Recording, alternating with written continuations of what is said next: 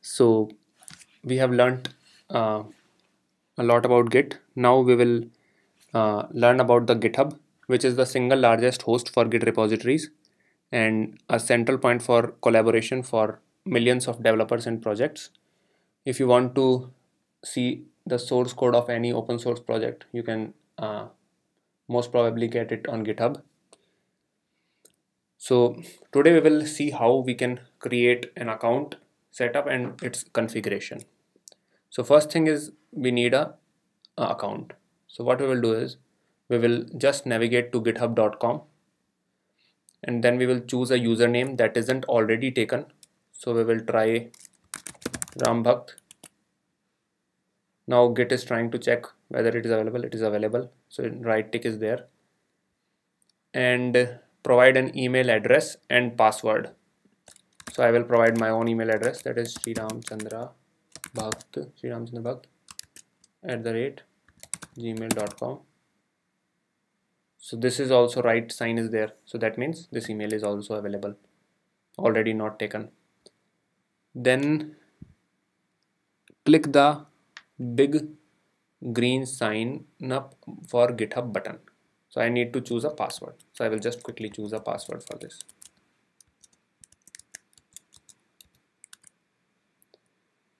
github is now checking. It is saying it requires at least one lowercase character.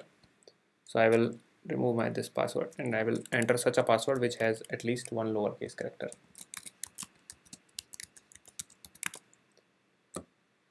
Okay so this is also right. So that means and click the big green sign up for github button. So I can just click on this button. Okay so now it's saying welcome to github and all the my account is coming. So do you want to Google Chrome to save password for this site? We can save or not save as you wish. The next thing you will see is the pricing page for upgrade plans. So it is showing that unlimited private repositories for $7 per month and unlimited public repositories for free. So I just need public repository so this is okay for me. I don't re read need any pub, uh, unlimited private repository so I will not choose this right now. But if you want then you can choose this. So the next thing you will see is the pricing page. GitHub will send you an email to verify the address you provided. Go ahead and do this. It's pretty important as you will see later. So now we will have to navigate to our uh, email address and verify it. So I will uh, go ahead and do that quickly. So uh, I will get my on my email address I will get one uh, email and I will have to verify that so I will quickly open a new tab I will navigate to Gmail quickly. I will open my email address Sri Ramchandra Bhakt Ramchandra Bhakt and I will enter my password here. I will click on next.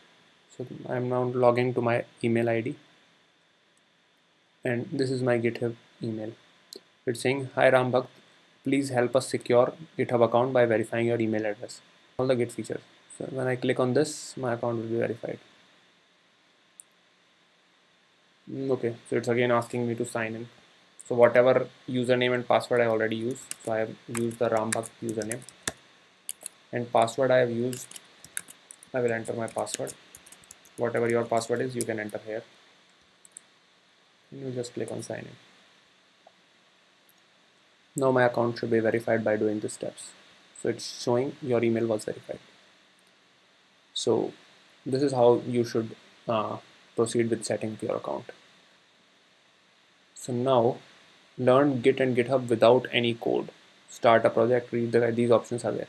But we will look into detail in later so as of right now you are fully connected connect fully able to connect with git repository using the https protocol using the username and password but uh, as we have already seen to clone public projects we don't need any SSH or sign up we don't even need to have this account github account we can just clone the public repositories uh, by using the git clone command. We have already cloned one repository in my previous lectures, so we can do that.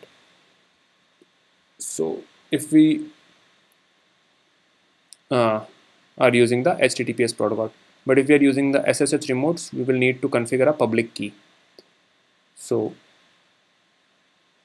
uh, we have to configure our SSH keys if we don't already have one. So this thing uh, we will look into how to configure SSH. We will look into this in the next lecture. Thank you friends. Please like, share and subscribe.